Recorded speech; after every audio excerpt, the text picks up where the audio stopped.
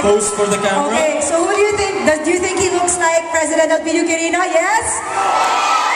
Yes! I think all the girls want like the, ano, I, Okay, I next. you're the vote of all the girls. Si uh, Joseph ba? Joseph ba? Ay, sorry. Al- sorry, Alfredo. Alfredo. Thank you so much, Alfredo. Okay, ikaw naman, ikaw naman. Okay, so we have, I'll go, I'll pose with you. Ready? We'll face greatness right here. Ready? And facing greatness. Smile. Oh! High five, man! High five! Oh, dito sa taas naman. Yun! One more. Dito na. Yun! Okay, one more, one more, one more. Okay. Parang may winner yata eh. Okay. Oh! Sa may light, sa may light, sa may light, sa may light. Ayan. Oh. Better high five, man. Oh, yan, yan. Okay, let's give a big round Okay. Congratulations. Guys, you guys all get a prize, man. Let's go over there to Michelle. Thank you so much. Galing.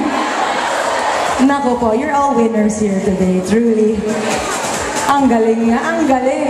Actually, madami parang palang prizes sa Facebook. If you Oo. want to go and get more prizes, just go to Facebook.com slash Elpidio uh, slash Kirino.org. Yes. Hindi Kirino.org, pero Kirino.org. Yan. kasi mamimigay pala ng smartphone. May ano?